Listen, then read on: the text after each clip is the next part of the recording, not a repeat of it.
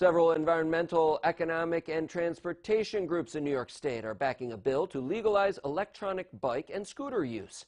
News Channel 34's Karina Capabianca has more on where it stands now.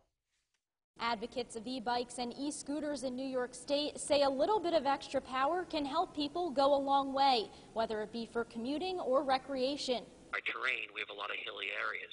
So if someone says, I want to ride, but there's too many hills, they could even just turn on the the, the e-bike portion for going up a hill and then doing the traditional bike. And he says it's in line with the lifestyle younger people are looking for. If we want to be a community that you know is able to attract and retain young professionals, we need the amenities that they expect a community to have. Those are some of the reasons why he signed on to a letter along with other organizations asking Governor Cuomo to sign off on a bill the legislature passed allowing municipalities to legalize their use cars and trucks are the number one source of greenhouse gas emissions in our state and in our country, and we need to find new modes of transportation. A spokesperson from the governor's office says the bill is currently under review.